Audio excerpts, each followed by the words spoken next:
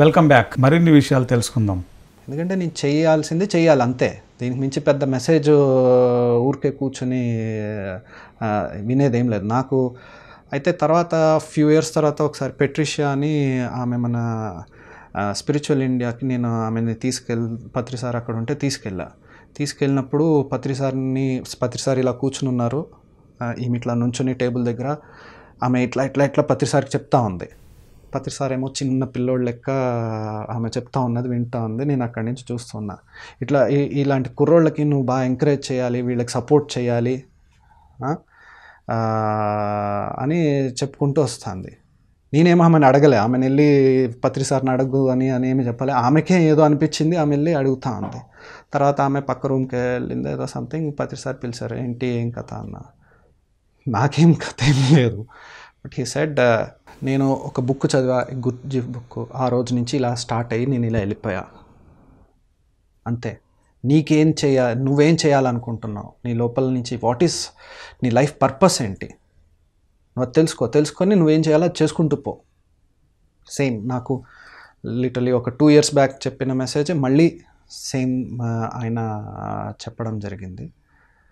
ఇంకో కొన్నిసార్లు నాలుగైదు సార్లు కలిసి ఉంటా అంటే వేరే పనుల మీద సార్ పలానాది ఇలా చేస్తున్నారు. ఇప్పుడు ఒకసారి సంయోగి వాళ్ళ ఊర్లోనే పిరమిడ్ కడదాం అనుకున్నారు కలకత్తాలో. కలకత్తాలోనే కలిసా పత్రిజీని సంయోగిని ఒక కాన్ఫరెన్స్లో కలిస్తే సార్ ఇలా అనుకుంటున్నారు అంటే "ఓ, తప్పకుండా అయితే మీరు ఎప్పుడు వస్తారు సార్ ఓపెనింగ్కి? సంయోగి అడుగుతున్నారు అంటే సమ్ డేట్ అప్పుడు చెప్పారు నువ్వు అప్పుడు రా అన్నారు. అట్లా అలాంటి కాన్వర్సేషన్స్ తప్ప మిగతా జనాలకున్న ఇది లేదు. బట్ దూరం నుంచి అయినా నాకు రావాల్సింది ఆయన ద్వారా వచ్చింది.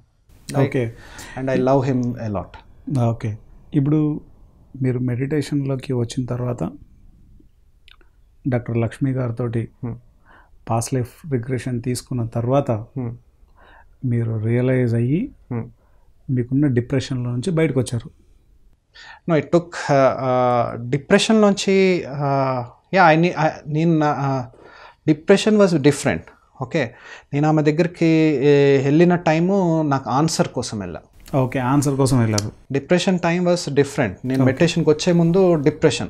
ఓకే. ఓకే. వన్స్ ఇప్పుడు అక్కడ టూ డిప్రె నా డిప్రెషన్కి రెండు కారణాలు ఉండేవి. ఒకటి ఆ సోర్స్ దగ్గర నుంచి నాకు కనెక్షన్ పోయింది. ఓకే. కానీ ధ్యానంలోకి వెళ్ళు నీకు అన్ని సమాధానాలు దొరుకుతాయి అన్న మూమెంట్ నుంచి మళ్ళీ నాకు కనెక్షన్ స్టార్ట్ అయిపోయింది. ఓకే. ఆ, ఉండి ఉంటుంది బట్ ఆ మెసేజెస్ రావడం ఆర్ వాట్ ఎవర్ నాకు మళ్ళీ ఆ కనెక్షన్ స్టార్ట్ అయిపోయింది. మీకు డిప్రెషన్ ఎప్పుడు పోయింది? పోయింది అంతే. మెడిటేషన్లో పోయింది. పోయింది. బికాస్ నేను దేనికోసం వెతుకుతున్నానో అది నాకు ఐ కెన్ సీ ఇప్పుడు ఆ, ఎలా చెప్పొచ్చు నువ్వు? ఇది చేస్తూ ఉంటే నీకు అది అవుతుంది. నువ్వు నువ్వు ఇప్పటివరకు తప్పించింది ఇది ఈ మార్గంలో వెళ్తూ ఉంటే తెలుస్తుంది అన్నప్పుడు ఆ మార్గంలో వెళ్తున్నప్పుడు కూడా నీకు ఆ డిప్రెషన్ ఉండదు. మెడిటేషన్ చేస్తూ ఉంటే డిప్రెషన్ పోయింది. కానీ ఇది ఇలా జరగడానికి రీజన్ ఏంటి? అనేటువంటి ఆ రీజన్ కోసం మీరు లక్ష్మీ న్యూటన్ గారి దగ్గర. వెళ్ళగా వెళ్ళాను అప్పుడు? So through PLR past life regression ద్వారా మీరు దాని యొక్క కాజ్ని తెలుసుకున్నారు. అదొక్కటే కాదు then I had lot of different thinking నేను ఇప్పుడు ఇది కరెక్ట్ ఇది ఇలా ఉండాలి కదా అలాంటి ఉంటాయి కదా half knowledge or whatever అలాంటివి నాకు చాలా మెడిటేషన్లో పోయినాయి. ఉదాహరణకి ఫర్ ఎగ్జాంపుల్ నాకు నేను ఆమెని ఇలా చేశాను. ఓకే? ఆ జన్మలో ఈ జన్మలో ఇలా అయింది. ఇది బాగానే ఉంది. ఏదో సమాధానం దొరికింది అనుకున్నా. నవంబర్ డిసెంబర్లో సడన్గా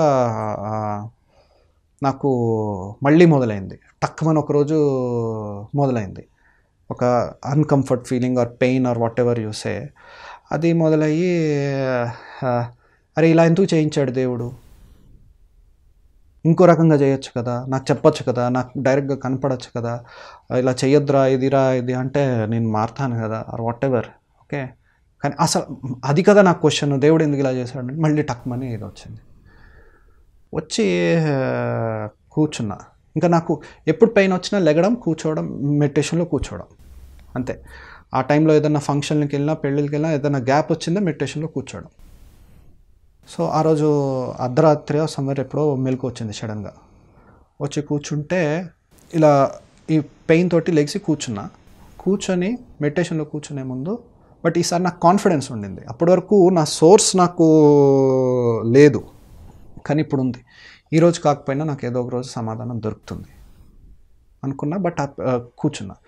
కూర్చున్న వెంటనే అంటే కృష్ణుడు వచ్చాడు ఇవన్నీ లైక్ సోర్స్ ఒకటే వాళ్ళు మనకి ఇష్టమైన విధానంగా చెప్పడానికో వాట్ ఎవర్ ఆ ఫామ్లో రావచ్చు. ఆ, కాన్ అది నాకు తెలిసి అప్పుడు నాకు వచ్చిన మెసేజ్ ఏంటంటే ఇది ప్రాసెస్ ఓకే నువ్వు ఇది వీటి నుంచి ఖచ్చితంగా బయటపడతావు.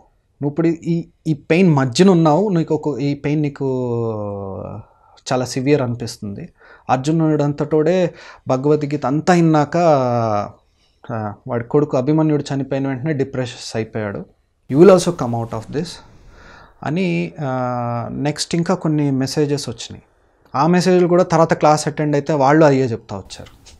యా ఆ రోజు రమణ గారిని వెనక్కి తీసుకొచ్చి చెప్పినప్పుడు ఈ ఈ- ఇదే మెసేజ్లో సేమ్ అర్జునుడికి కూడా ఇలాగే అయింది ఆర్ అదే క్లాస్ అక్కడ చెప్తున్నాడు కృష్ణుడు నాకు ముందు ఇలా జరిగింది.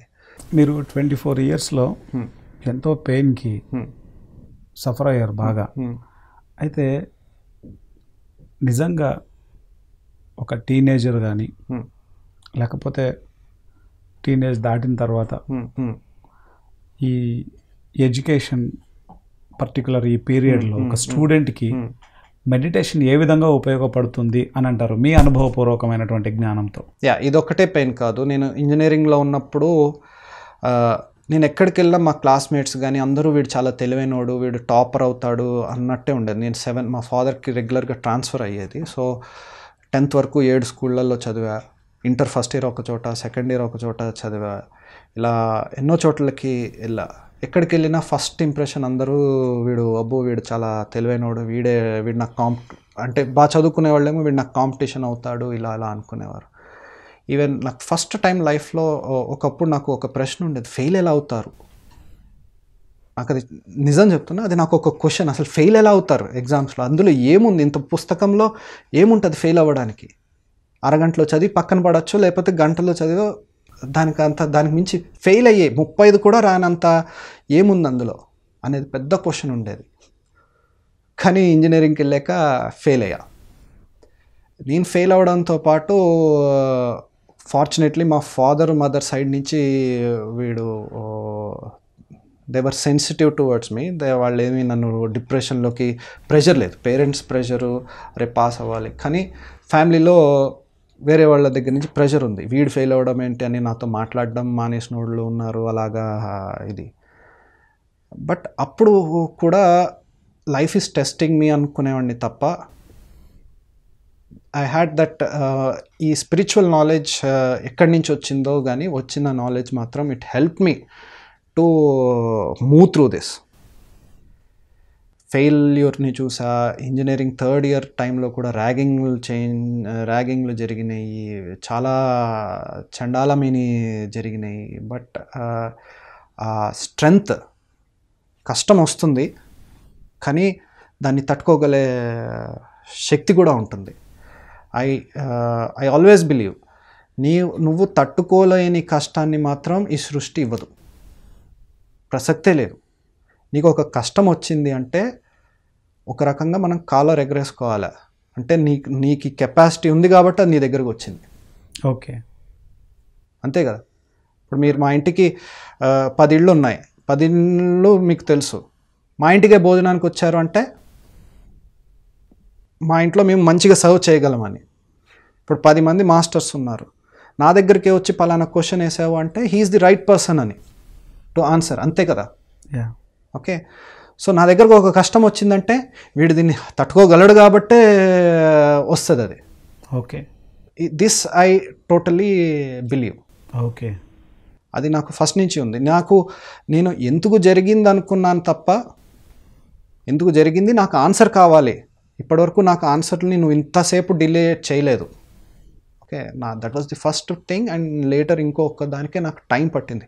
One year or more than that like you know time పట్టింది ఆన్సర్ రావడానికి నాది ఆ, నాకు.